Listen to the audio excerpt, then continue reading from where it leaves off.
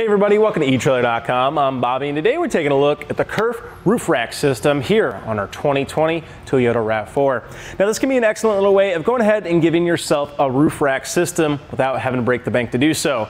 You are going to get a nice little rack system here. Now it's not going to be quite up to par with some of your more premium options out there. However, you are going to get a couple little nice features. The big one for me, how easy this guy is to install. It is going to come out of the box just like you see it here today. Obviously not on your car. That's the only installation you're gonna have to do is actually get it up on there. The foot pad systems make it very, very easy to utilize and the knob system makes it really easy to tighten down those foot pads. Make sure we have a nice secure fit on the top of our car.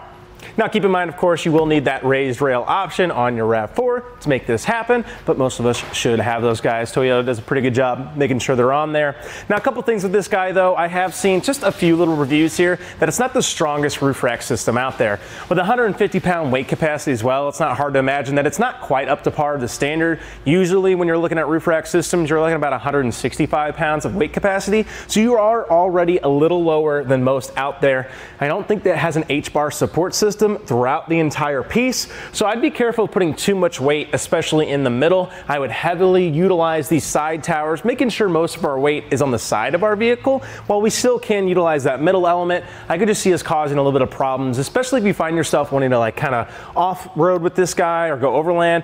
If you have anything in the middle that's gonna be doing constant pressure of up and down in the middle, I could see it slightly flexing that middle bore because it doesn't have that support system. However, it's gonna be a great little option if you find yourself just wanting to get the family at a vacation destination and just trying to get that roof basket with you or a bike rack right here on the end, it still will do a good job. Kayaks, so don't worried about that. Let's just be conscious of how we actually are loading this guy up. Well, the installation doesn't take any time at all, like we said. Let's go ahead and see how we got it on there. For our installation guys, it's gonna be really straightforward. Luckily for us, comes just like this in the box. So all we really have to do, make sure our pads are at the appropriate length. So you can see, we're gonna go ahead and make sure we can actually fit that across our raised rails there for ourselves guys. So all we have to do is loosen up and pull them apart, which takes no time at all, of course and then we can get it ready to be put across our system. So I'm gonna go ahead and put my locking core towards me. So I'll meet myself on the other side and get that in position.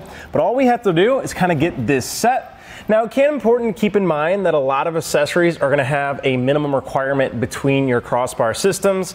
A good frame of reference, about 26 to 29 inches is usually going to be a pretty good spread for ourselves. That way, an appropriate balance. Most of our accessories, whether it be bike racks, cargo baskets, and especially kayak carriers, are a big one to watch out for with that spread. So we can go ahead and start getting this set. Let's grab a tape measure and get that measurement. We're going to take from center of our other crossbar all the way across. Go ahead and reverse that to give us a better outlook. As you guys can see, we are very close right there to 26, about 26 and a quarter. So what we'll do is go ahead and measure that to the other side as well. And now we can go ahead and just start tightening this on. As you can see too, we are gonna have that included locking core. Make sure you are in the unlock position allowing ourselves to actually catch it. So as you can see, has a little bit of resistance there. That means we actually are catching that and cinching it down. And all that's gonna do is pull in this base pad here tighter to our raised rail so we are nice and secure. Now that we're even on our crossbar length, we can go ahead and tighten down the other side as well. So here we are in the unlocked position, and that allows us to have that resistance. As you guys can see, it takes a little bit, I am putting pressure here, that thumb to actually rotate this. If I were to go ahead and spin this in the, uh, in the lock position, you can see that we get a free spinning knob here. So that means we're not catching it. It's not gonna come undone, even if somebody comes up and starts loosening it, they'll just kind of waste their time spinning that, and it will stay nice and secure on the top of our roof. Well, now that we got it installed, we're gonna hop up, check some of our dimensions here, see what we're working with.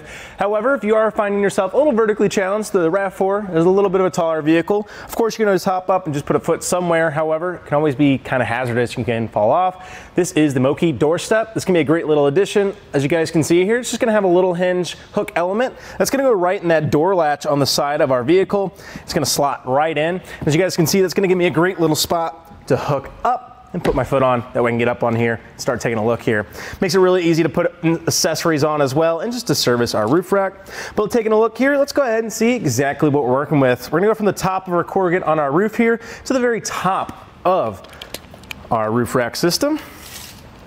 So from the very top here to the very top of our carrier is going to be putting us about five and one quarter inches there to the very top, while our clearance at the bottom is going to be right at four inches there, maybe a 16th above that four, guys. So plenty of space here in between for a lot of accessories. A lot of times too, guys, you're going to see a lot of mounts just kind of clip right to the top. I don't think we're going to need really that deep of a well here. I think we're really getting that nice raise just with our raised rail system here on the RAV4. So I think in part to that, we are already a little higher up than you might see in some other vehicles. So I definitely like that it's not going to be too shallow here for any of our accessories, and it's not going to be too tall either. So you guys can see, not really adding too much height. Let's go ahead and just see how much height we're adding innately from that raised rail system. Yep, right under two inches there. So as you guys can see, a lot of that height is coming from our raised rail system. Definitely don't think we're gonna have any trouble getting through those drive-throughs. We're pulling this in the garage. Well guys, with that installation, those dimensions kind of shown, hopefully that gives you a good idea how this roof rack is going to work for us. A couple things I would say with it too, as we mentioned that weight capacity is a little wanting in my opinion, however, still going to work for us. Other thing with it too, at that top there, we do have just a little bit of a rubber stripping at the top. Now that is going to be pretty common on a lot of roof rack systems. However, a big thing that a lot of roof racks have is going to be a T-slot attachment holder at the top there. So that track allows us to put those T-slots in. Unfortunately, we don't have that here today on the Curt. If you are looking for something similar, you still want that T-slot, but you don't have to look in the stratosphere on those Yakimas maybe or something, any of those premium carriers. If you do want to take a look at a T-slot attachment, the Malone Airflow 2 could be a great little option. You're looking in the same little ballpark for ourselves, and you are going to have that T-slot up top. And if that way you do have any accessories that require it, that can be a great little purchase for ourselves. Of course, most accessories are going to have an option of just clamping on these Aero style bars. So I don't think we're gonna have too many issues unless you're looking for that T-slot. Well guys, I think that's gonna do it for our look at the Curt roof rack system here on our 2020 Toyota RAV4. I'm Bobby, thank you for watching.